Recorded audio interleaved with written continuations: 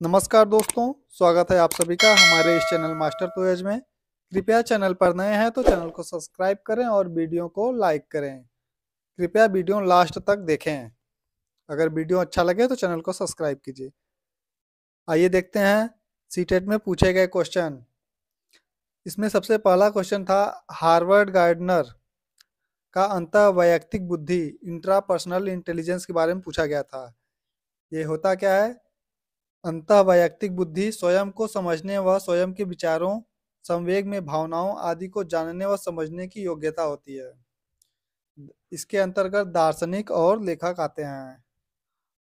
और अंतर अंतर वैयक्तिक के बारे में पूछा गया था इंटरपर्सनल। यह दूसरों की भावनाओं तथा परिप्रेक्ष्य को समझने की योग्यता होती है जिसके अंतर्गत सामाजिक कार्यकर्ता हो, होते हैं प्रबंधक आते हैं, परामर्शदाता और शिक्षक आते हैं। अगला क्वेश्चन पूछा गया था कीटभक्षी पौधा नेपेंथिस। नेपेंथिस या घटपर्डी कहाँ पाया जाता है? मेघालय में पाया जाता है। एक क्वेश्चन सड़े गले मृत मृत पदार्थों से पूछा गया था। एक क्वेश्चन मशरूम और अमरबेल से पूछा गया था। तथा संस्कृत में दीपावली से एक पैसेज दिया गया था। इसमें अगला क्वेश्चन था, स्कीमा से पूछा गया था, जीन पियाजे के स्कीमा होता क्या है? ऐसी मानसिक संरचना जो चिंतन के निर्माण का भाग है, जो व्यक्ति विशेष के मस्तिष्क में सूचनाओं को संगठित तथा व्याख्या करने हेतु विद्यमान होती है। एक क्वेश्चन रात्रि में काला और सफ़ेद देखने वाले जानवरों के बारे में पूछा गया था, जिसमें उल्लू, चमगादड़ और रेगिस्तानी चूहा है। एक क्वेश्चन खरीफ की फ़सल के बारे में पूछा गया था, जिसका सही आंसर धान है। अगला क्वेश्चन है क्लोज इंडेड क्लोज इंडेड के बारे में पूछा गया था, इसमें विकल्प दिए होते हैं विकल्पों में से केवल एक विकल्प चुनना होता है, जो कि लिमिट होता है उसका। एक क्वेश्चन पूछा गया था जेंडर और लिंग के बारे में। जेंडर एक सामाजिक संरचना है जो कि समाज समाज निर्मित है और यह परिवर्तनशील होता है, जबकि सेक्स, लिंग एक जैविक संरचना है। जेंडर सामाजिक रचना है और लिंग या सेक्स, ये जैविक संरचना है जो प्रकृति प्रदत्त है और अपरिवर्तनशील होता है। अगला क्वेश्चन था, जानवरों के सोने का सही समय क्या है? उसमें पूछा गया था, गाय चार घंटे सोती है, अजगर अट्ठारह घंटे, बिल्ली बारह घंटे सोती है और जिराफ दो घंटे सोता है। एक क्वेश्चन था ग्लोब पर भारत के विपरीत कौन सा देश स्थित है? इसका सही आंसर है अर्जेंटीना। मैथ में जियो बोर्ड टू से शेप से एक क्वेश्चन पूछा गया था। एक क्वेश्चन वंशानुगत कारक से, केवल वंशानुगत कारकों से निर्धारित होता है। इसका सही आंसर था आँखों का रंग। एक क्वेश्चन बाल्यावस्था की शुरुआती दौर में भावनात्मक विकास के लिए एक काल होता है। ट्राउबल यानी परेशानी। इसका सही आंसर था। एक क्वेश्चन लेव वाइगोत्सकी से पूछा गया था। लेव वाइगोत्सकी के अनुसार भाषा है। सामाजिक, सांस्कृतिक उपकरण यानी कल्चरल टूल है। एक क्वेश्चन गोलकुंडा के किला से पूछा गया था कि किस राजवंश ने इसे बनवाया है तो इसे काकतीय राजवंश ने बनवाया है। एक क्वेश्चन था, एक बच्चा जो कि उत्तर भारत में तमिलनाडु जाकर उत्तर भारत से तमिलनाडु जाकर सीबीएसई स्कूल में एडमिशन लेता है और बहुत जल्द ही तमिल भाषा को सीख लेता है। तो बच्चा अपने परिवेश से भाषा अर्जित करता है, इसका सही आंसर है ये। बच्चा अपने परिवेश से भाषा अर्जित करता है। एक क्वेश्चन बाघ के बारे में पूछा गया था। इसमें पूछा गया था कौन सा सही नहीं है। इसमें ऑप्शन था बाघ की मुछे रात में बाघ को दिशा निर्देश में सहायता करती है। अगला था, बाघ अपने पेशाब के द्वारा अपने क्षेत्र की पहचान करता है। अगला दिया था ऑप्शन में, बाघ की दहाड़ पाँच किमी तक सुनी जा सकती है। ये पाँच किमी नहीं होगा, ये तीन किमी होगा। क्योंकि बाघ तीन किमी तक की दहाड़, बाघ की दहाड़ सुनी जा सकती है, जो कि एनसीईआरटी में दिया गया है। एक नया क्वेश्चन दिया गया था ईवीएस में, उष्मा द्वीप किसे कहते हैं? उष्मा द्वीप एक निश्चित क्षेत्र, प्रदूषित क्षेत्र को कह सकते हैं, जहाँ प्रदूषण बहुत ज़्यादा मात्रा में होती है तो एक निश्चित एरिया को उष्माद्वीप कहते हैं। उसका नाम दिया गया है। एक क्वेश्चन खरीफ की फ़सल से पूछा गया था कि खरीफ की फ़सल जो कि वर्षा के दौरान की जाती है, इनमें से कौन सा समूह सही होगा? इसका सही आंसर था धान, बाजरा और मक्का। एक क्वेश्चन जीवाणु, विषाणु, शैवाल और कवक से संबंधित पूछे गए थे। एक क्वेश्चन था कि इनमें से कौन संज्ञान को सांस्कृतिक पक्ष से जोड़ता है? वाइगोत्सकी है। वाइगोत्सकी का सामाजिक सांस्कृतिक सिद्धांत है तो इसका सही आंसर है वाइगोत्सकी। अगला क्वेश्चन था, एक बच्चा घर में अपनी माँ को तुलसी की पूजा करते हुए देखता है और पूछता है, क्या ऐसा क्या होता है? एक शिक्षक के रूप में आप क्या करेंगे? ये क्वेश्चन केवल दिया गया था, इसका ऑप्शन नहीं मिला। मतलब ऐसा क्वेश्चन उसमें पूछा गया था कि शिक्षक के रूप में आप क्या आंसर देंगे? एक क्वेश्चन था भाषा का प्रयोग किस तरीके से किया जा किया जाता है? तो इसमें ऑप्शन था महत्वपूर्ण इसका सही आंसर है जो कि। एक क्वेश्चन मस्तकाधोमुखी यानी सेफेलोकार्डल से पूछा गया था जिसका मत, अर्थ मतलब है विकास लंबवत रूप में सिर से पैर की ओर होता है। अगला क्वेश्चन था, एक लड़का देखता है कि उसके पिता डिब्बा बंद बोतल से पानी पीने का पानी लेते हैं। उसने अपने पिता से पूछा कि, हमारे आसपास नदी होने के बजाय हम डिब्बा बंद बोतल से पानी क्यों पीते हैं? तो पिता आंसर देते हैं कि, दो गिलास में पानी लो, एक गिलास में नदी का पानी भर लो और दूसरे गिलास में यहाँ ग्लास होगा। दूसरे गिलास में डिब्बा बंद बोतल का पानी और एक सप्ताह तक निरीक्षण करो और बताओ। इसका सही आंसर था ये। अगला क्वेश्चन था, संविधान में कितनी भाषाओं को रखा गया है? संविधान में 22 भाषाओं को रखा गया है। ये 17 जनवरी को भी ये क्वेश्चन पूछा गया था। और मूल संविधान में 14 भाषाएँ थी और ये आठवीं अनुसूची में वर्णित हैं संविधान के और अनुच्छेद तीन फ़र्स्ट में। अगला क्वेश्चन था, किस अवस्था में बच्चे ऑपरेशनल लॉजिक विकसित हो जाती है? किस ऑपरेशनल लॉजिक विकसित हो जाती है, किस अवस्था में? लेकिन अपरिवर्तनीय होती है तो ये पूर्व संक्रियात्मक अवस्था होगी, दो से सात वर्ष। अगर यहाँ अपरिवर्तनीय नहीं होता तो ये मूर्त संक्रियात्मक अवस्था होती।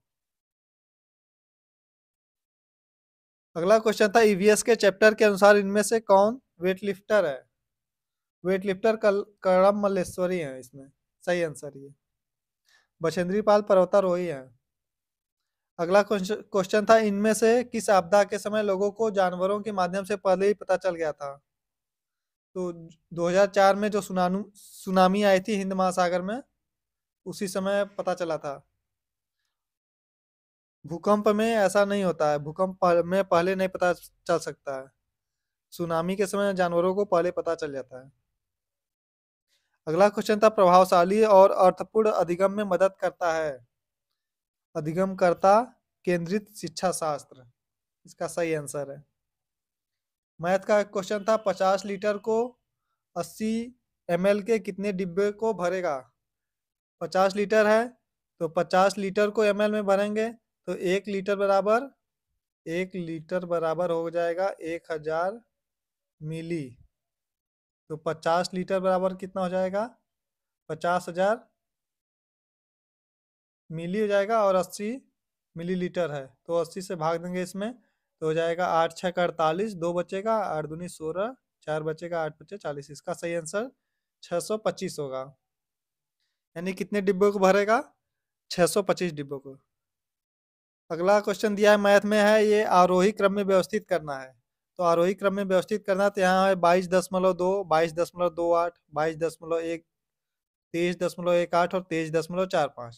तो यहाँ देखिए इसमें बाईस दशमलव दो है तो इसके आगे ज़ीरो लगा देंगे। बाईस जो जो संख्या लास्ट में एक है उसके आगे ज़ीरो लगा देते हैं। तब देखिए बाईस दशमलव सबसे पहले आएगा, आरोही आरोही मतलब बढ़ते क्रम में हो तो सबसे पहले छोटा लेंगे, बाईस दशमलव वन ज़ीरो होगा, फिर बाईस दशमलव दो ज़ीरो हो जाएगा, दो होगा, फिर हो जाएगा बाईस दशमलव दो आठ, फिर आगे हो जाएगा तेईस दशमलव एक आठ और फिर आगे हो जाएगा तेईस दशमलव चार पाँच। ये हो जाएगा आरोही क्रम में। अगला क्वेश्चन है, छह अंकों की सबसे बड़ी संख्या को पाँच अंकों की सबसे छोटी संख्या से घटाया जाता है तो परिणाम क्या होगा? तो छह अंकों की सबसे बड़ी संख्या क्या होगी? छ नौ बार, नौ मतलब छह बार लिख देंगे। ये हो जाएगा इकाई दहाई सैकड़ा हज़ार दस हज़ार लाख, नौ लाख निन्यानवे हज़ार नौ सौ निन्यानवे। अब कह रहा है पाँच अंकों की सबसे छोटी संख्या, ये हो जाएगा दस हज़ार। अब इसमें से घटा देंगे तो यहाँ हो जाएगा नाइन, यहाँ नाइन, यहाँ भी नाइन, यहाँ भी नाइन नाइन में से वन घटाएँगे, एट हो जाएगा, फिर यहाँ नाइन। ये सही आंसर हो जाएगा। अगला क्वेश्चन संस्कृत में पूछा गया। संस्कृत में प्रत्यय और विभक्ति से क्वेश्चन पूछे गए थे। एक क्वेश्चन ईवीएस में था, अहमदाबाद से केरल का कोई शहर के बीच की दूरी गया, दिया गया था, जिसमें औसत चाल वाला प्रश्न पूछा गया था। औसत चाल बराबर होता है कुल चली गई दूरी बटे कुल समय। मैथ में वेन हिले से एक क्वेश्चन पूछा गया था। सम चतुर्भुज और आयत में अंतर से संबंधित क्वेश्चन पूछा गया मैथ में। गणित में प्रेस प्लेस वैल्यू यानी जातीय मान या अंकित मान से क्वेश्चन पूछा गया। दिशा संबंधी क्वेश्चन पूछे गए हैं। वर्ग और आयत से संबंधित क्वेश्चन पूछा गया है। ट्रेन से संबंधित क्वेश्चन पूछा गया है। पंचभुज से संबंधित क्वेश्चन पूछा गया है। डिस्ग्राफिया यानी लेखन संबंधी विकार से संबंधित क्वेश्चन ये लर्निंग डिसेबिलिटी से क्वेश्चन हर शिफ्ट में पूछे जा रहे हैं। और जीन पियाजे, कोहल वर्ग, वाइगोत्सकी से हर शिफ्ट में क्वेश्चन आ रहे हैं। इसको अच्छे से पढ़ें। एक क्वेश्चन है, एक बच्चे के पिता जो कि मेहमानों के लिए चॉकलेट लाए हैं, वह बच्चा उसे इसलिए नहीं खाता क्योंकि वह पकड़ा जाएगा। तो यह कोहल वर्ग की कौन सी अवस्था है? तो यह दंड या आज्ञा पालन की अवस्था होगी, जो कि पूर्व अनैतिक स्तर है, नैतिक पूर्व अवस्था है। अगला क्वेश्चन है, बच्चा किस अवस्था में अपने माता पिता या गुरु का प्रिय रहना चाहता है? ये तीसरी अवस्था है, लौकिक स्तर की। लौकिक स्तर के अंतर्गत आता है या तीसरी अवस्था है जिसमें अच्छा लड़का, अच्छी लड़की वाली गुण आता है। जिसमें ये पूर्व लौकिक स्तर है, लौकिक स्तर है, पश्च लौकिक स्तर है, जिसमें छह अवस्थाएँ हैं। दंड, आज्ञा, पालन, अभिविन्यास है, कारण, सापेक्ष अभिविन्यास है। अच्छा लड़का, अच्छी लड़की, अभिविन्यास है। कानून तथा व्यवस्था, अभिविन्यास है। पांचवा अवस्था है सामाजिक संविदा अभिविन्यास। छठवां अवस्था है, सार्वभौमिक, नैतिक, सिद्धांत, अभिविन्यास। एक क्वेश्चन दिया गया था प्राइवेट स्पीच के बारे में कौन बात करता है? तो ये लेव वाइगोत्सकी हैं। वाइगोत्सकी साहब प्राइवेट स्पीच के बारे में बात करते हैं। एक क्वेश्चन था, लड़का मिठाई चोरी से खाता है, फिर डर से आधी मिठाई रख देता है। ये कोहल वर्ग की कौन सी अवस्था को दिखाता है? यह पहली अवस्था है, जिसमें दंड और आज्ञा पालन अभिविन्यास की अवस्था है, जो पूर्व लौकिक स्तर या प्राक नैतिक या नैतिक पूर्व अवस्था के बारे में बताता है। एक क्वेश्चन है, बहुभाषिकता एक संसाधन है। पूछा गया था, एक संसाधन है ऑप्शन में दिया गया था बहुभाषिकता। एक क्वेश्चन पूछा गया था, स्टीफन क्रेसन से S C A second language acquisition के बारे में। एक क्वेश्चन पोलिया समस्या समाधान मॉडल के बारे में पूछा गया था। एक क्वेश्चन प्राइमरी लेवल पर बच्चों को भाषा सिखाना चाहिए। कौन सी भाषा? मातृभाषा सिखानी चाहिए एक क्वेश्चन एनईपी और एनसीएफ से हर शिफ्ट में क्वेश्चन पूछे जा रहे हैं। इसको अच्छे से पढ़ लीजिए। एक क्वेश्चन इंग्लिश में कोई नाम दिया था, उसमें पूछा था, इसमें कितने न्यून कोड हैं? मतलब कोई नाम दिया था, इस, स्पेलिंग दिया हुआ था तो उसमें पूछा था, उस अक्षर में कितने न्यून कोड हैं? आज के लिए बस इतना ही। अगर वीडियो अच्छा लगा हो तो चैनल को सब्सक्राइब करें और वीडियो को लाइक करें। और अपने दोस्तों तक शेयर करना ना भूलें। जय हिंद।